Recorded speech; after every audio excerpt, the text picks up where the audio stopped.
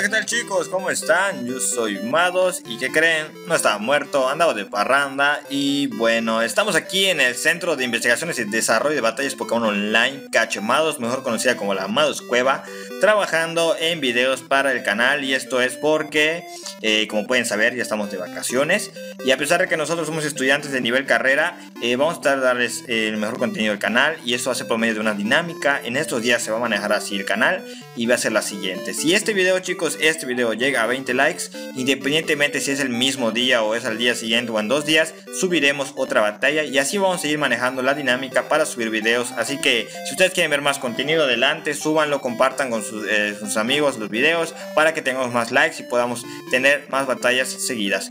Y también tenemos un segundo, una segunda dinámica para estas Semanas Santas, sus vacaciones, que va a consistir en un reto para ustedes chicos.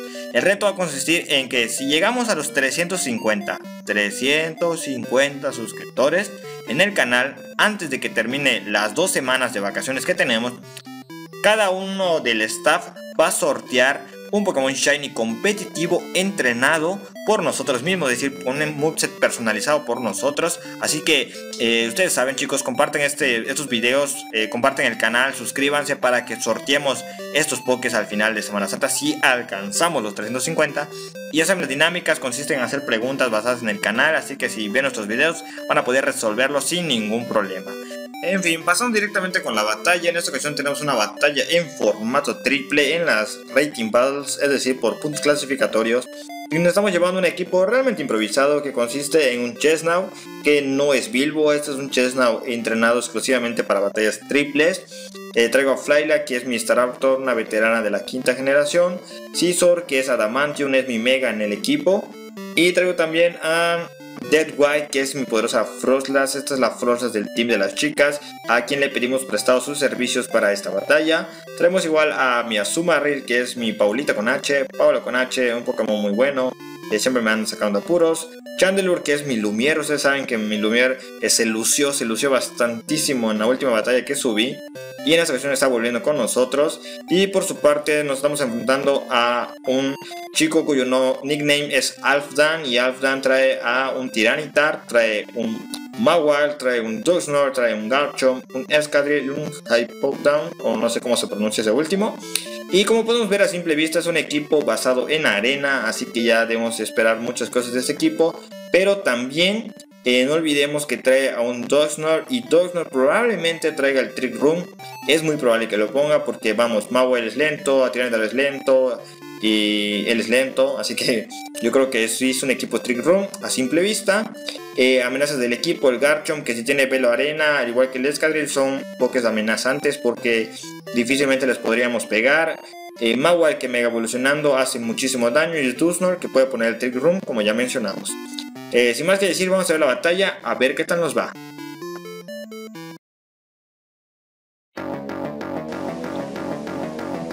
Y bien chicos, es una batalla contra Aflan en el formato de Rating Battles. Llevan a sacar a su Hypodon, su Escadret y su Garchomp. Yo voy a comenzar con mi Chesnau, mi Staraptor y mi Scizor.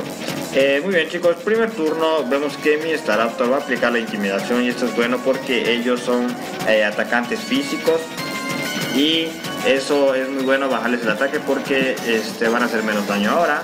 Ese Hypodon va a soltar el chorro arena y esto era muy predecible, es un equipo de arena, así que yo sin perder el tiempo voy a mega evolucionar a mi Scizor para empezar a hacer daño, pero no sin antes cargar un Dance Espada porque al único que le temo realmente ahorita es el Hypodon que puede tener conmigo Ignio, pero me dejé esperar a ver si lo tenía.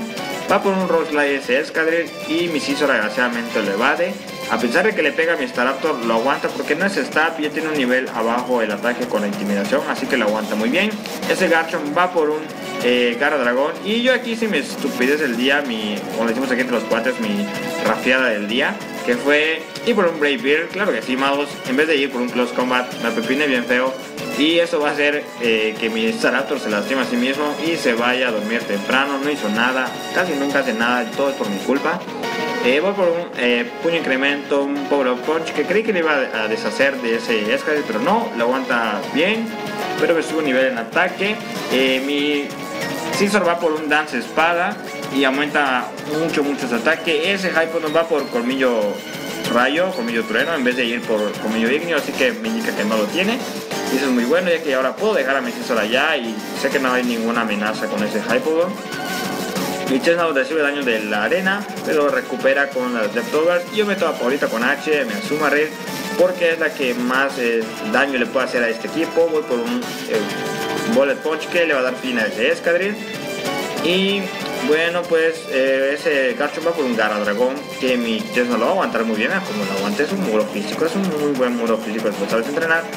Le suelto otro Power Punch ya tengo dos niveles en ataque y de un Carantoña se va a ir ese Garchomp porque mi Azumarill es una asesina de dragones.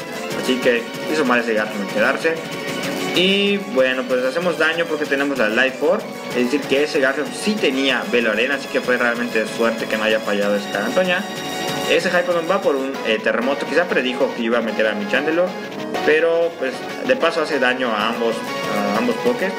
Y recibimos daño de la arena, Chesno lo recupera con sus eh, leftovers. Y el está recibiendo daño acá, hasta cierto punto se ve beneficiado, es mi Scizor. en fin, él va a meter a su Mawile, que obviamente es el mega del equipo. Va a meter a sus Dusknoir, que obviamente es el Poké que va a soltar el Trick Room. Aquí se huele a Trick Room. Y eso es algo que hay que tener mucho cuidado. Él, sin pensar dos veces, mega evoluciona a su Mawile y adquiere su verdadera amenaza. Es demasiado poderoso ahora. Eh, ese Hypodon me revela su tercer movimiento que es eh, Protect. Tiene Protect, tiene Terremoto, tiene Colmillo Trueno, Colmillo no sé cómo se llama. Y yo voy por un Persecución, por Set, que creí que sí me iba a deshacer de ese entonces, pero no, lo aguanta ligeramente. Yo le pego un bomba Germen a ese Mawile. Era lo mejor, lo más fuerte que tenía para pegarlo. Ya tenía dos niveles en ataque. Vean nada más cómo lo aguanta. Voy por un Carantoña. Esto era para en mi mente rematar a ese Mawile, pero vean que lo va a aguantar muy bien. Y eh, pues es un error muy grande de mi parte porque ahora ese Duznor con toda la calma del mundo va a soltar un Tech Room, pero no sin antes que su compañero Mawile le suelte un Iron Head a mi Azumarill que le va a dar fin, se vaya a dormir temprano Paulita, no hizo mucho, pero como era predecible, suelta el Trick Room y esto no es bueno porque ahora ellos nos llevan la ventaja, aunque agraciadamente Chestnut y Scizor igual siguen siendo lentos y sigo teniendo la ventaja porque tengo movimiento de prioridad en mi Scizor. Eh, vemos que recibimos daño de la arena. A pesar del rayo de la arena, el turno no se, no se debilita y eso fue algo muy molesto. Yo meto a mi Frostlass que igual le puedo hacer frente a este equipo, pero la verdad es que está mal parada frente a un metal y frente a un fantasma. Y yo voy por un Bullet Punch, por de mis Scizor, eso es lo bueno, que aún teniendo Trick yo sigo teniendo prioridad con esos ataques y me deshago de ese Duznor, así que eh, nos hacemos una amenaza, ese mago va por un Carantoña que le va a dar fin a mi Chesnaught y se va a ir a dormir. Y subir su trabajo estuvo ahí de soporte realmente no pudo demostrar su verdadero potencial. Y ese Hypodon va por otro terremoto y lo resistimos muy bien. Afortunadamente se aplica la Course Body de mi eh, y le cancela, le anula su terremoto y le suelto un Ice Beam que creí que lo había, lo había eliminado pero no aguantó con uno de HP eh, fue algo muy sorprendente, es una Frostlass Modes Max eh, ataque especial, o sea fue algo realmente fregado y bueno, era de esperarse porque la arena sube la defensa especial de los pokés de ese tipo. tipo roca y tipo tierra, si no me equivoco. Y meto mi Chandelure, va ese mago por un Soccer Punch y falla. Esto les voy a explicar por qué. Yo voy por un Bullet Punch que le va a dar fin a ese Tiranitar. Eso fue muy bueno. Era un Bullet Punch con Stab, Technician, Lance Espada, Mega. Era obvio que no lo iba a aguantar. Y ese Hypodon va por un triturar. Ahí me revela el cuarto movimiento que tenía. Y mi Frostlass se va a ir de la batalla. No pudo hacer nada. No pudo ni siquiera llevarse Hypodon y fue algo muy molesto. La razón de por qué falló ese Soccer Punch de ese Maui fue porque tenía eh, lanzando mi Willow Wisp o Fuego Pato. Así que esto ya huele familiar. Ya es familiar para nosotros, para los que ya conocen en los videos anteriores. Eh, la receta del trollear a un Mega Maui. Y este Hyper va por un Protect. Yo no sé por, qué fue por un Protect, pero bueno, ese Mario va por un Soccer Punch. Que no le va a hacer nada a mi Chandelure porque yo voy a ir con el segundo, segundo paso de la receta para trollear al Mega Mauer, que es confundirlo. Ahora está confuso, está quemado. Y esto es muy divertido para mí porque mi Chandler lo está haciendo de nada cuenta. Ese Hyper va por otro Protect, eh, no sé por qué, pero en fin, este falla. Eh, se pega a sí mismo, esto fue muy gracioso. De todas maneras, aún hubiera hecho Soccer Punch, la verdad mi, mi Chandler no iba a atacar iba a volver a hacer lo mismo porque era solo esperar a que se muriera lentamente. Y de un Bullet Punch le damos fin a ese Hypodon y nos damos la victoria de esta batalla.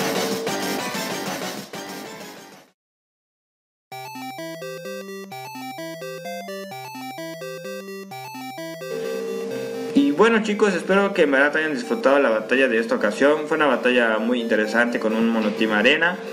Y que este pues esperamos que estén disfrutando lo que van a ser los videos que vamos a subir. Que participen que forman parte de la dinámica le den likes a, los videos para que sigamos subiendo más rápido. Eh, que compartan para que cumplan el reto de las suscripciones.